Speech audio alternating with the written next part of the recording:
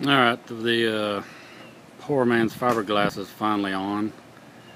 I did bond 2 straight with some canvas drop cloth. There's way too much cussing going on to film. Would I do it again? Yeah, I don't know about that. Uh, I'm sure I might have to go ahead and put trim on it because it's pretty raggedy. We'll see.